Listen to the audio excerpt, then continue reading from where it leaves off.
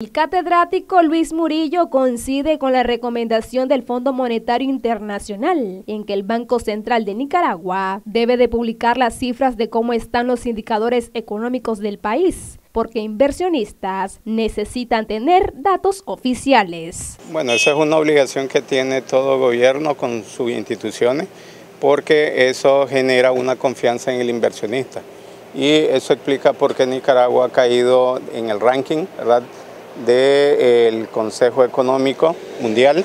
Eh, estamos en el lugar 109 de 145 países. Eh, prácticamente eh, todo inversionista de una u otra manera necesita información oficial y no es posible de que exista un rezago de hasta 24 meses para poder en este caso dar las cifras y tomar decisiones.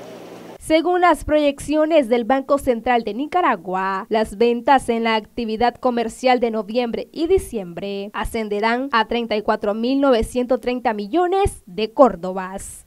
Bueno, recordemos de que este último trimestre es un ciclo económico, ¿verdad? En donde el aguinaldo y las remesas familiares reactivan un poco la economía. Eh, sin embargo, eh, en cuanto a remesas familiares, sí han venido aumentando pero en relación a aguinaldo no, porque recordemos de que ni siquiera hubo aumento salarial.